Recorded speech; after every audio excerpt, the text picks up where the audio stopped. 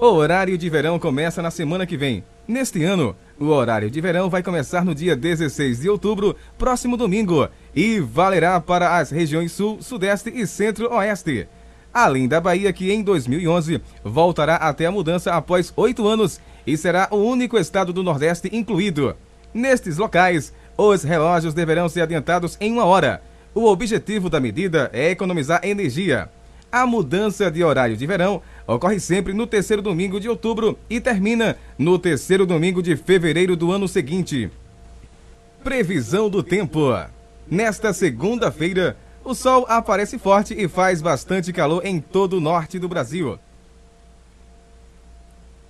No Tocantins e no sul, no leste e no norte do Pará, o céu fica com poucas nuvens e não chove.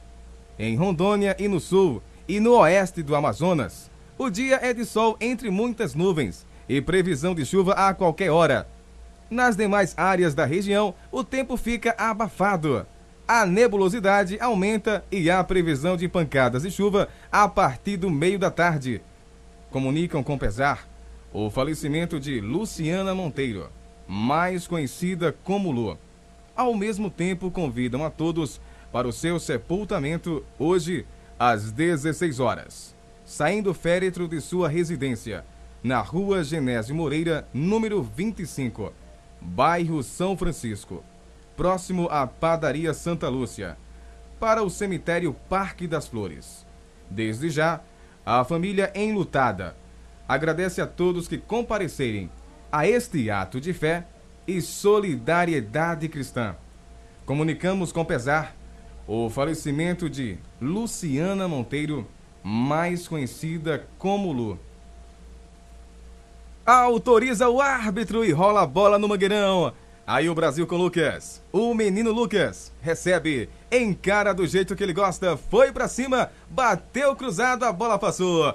Foi pra linha de fundo, é tiro de meta. O Brasil tá indo para cima, tá tentando o resultado ou pelo menos forçar o jogo desde o princípio.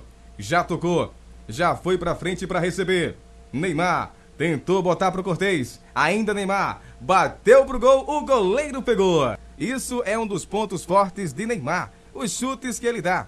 Olha só, a bola tá ali pertinho do pé dele. Ele bate curto e faz um momento rápido. Olha o Borges. Olha o Neymar correndo. Ele não achou a bola. Houve desvio, foi escanteio.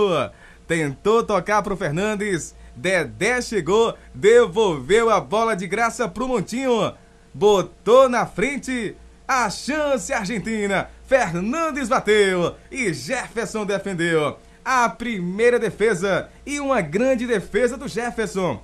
E se lamenta o Fernandes. Foi a chance que teve a Argentina em todo o jogo até aqui. É o contra-ataque que eles estão querendo e o Brasil quer fazer o gol, quer a vitória. Aí o Brasil. Borges veio buscar. Tocou de primeira. Bonito lance! Agora vambora, Lucas! Neymar tá do outro lado, tocou pra ele, bateu pro gol, bateu pro gol, olha o gol, olha o gol, gol!